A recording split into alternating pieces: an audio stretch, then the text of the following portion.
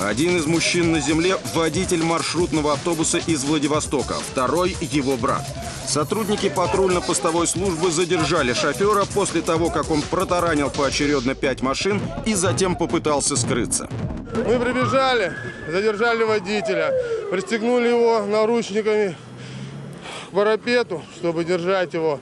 Брат его ж не прибежал, накинулся, порвал форму, оказал сопротивление сотрудникам милиции при исполнении служебных обязанностей. Уже после задержания стали известны подробности аварии. Сначала автобус ударил два автомобиля. Первым на его пути оказался джип Nissan. Ну, ударил сначала заднюю часть автомобиля, его. потом переднюю боковую дверь автомобиля. Я успел только вот так вот к машине прижаться. Он чуть меня не переехал.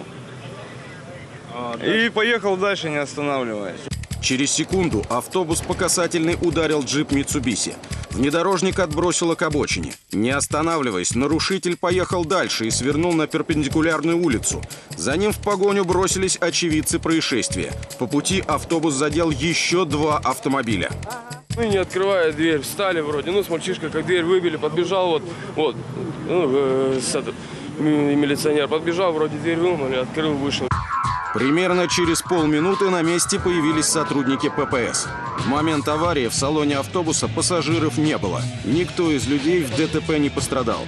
Пока точных объяснений поведению водителя автобуса нет. По словам представителей фирмы-перевозчика, перед выходом на линию автобус был исправен.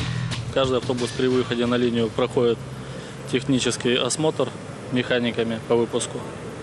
И водитель также проходит медицинское освидетельствование на алкогольное опьянение и на э, самочувствие, то есть проверяют и давление, и все. То есть медики сказали, что э, с ним было все в порядке. Так что же произошло? Автобус исправен, водитель трезв. Не исключено, что у шофера сдали нервы после первой аварии. Скрываясь от инспекторов, он натворил еще больше бед. Нарушителя и его брата Драчуна доставили в отделение милиции.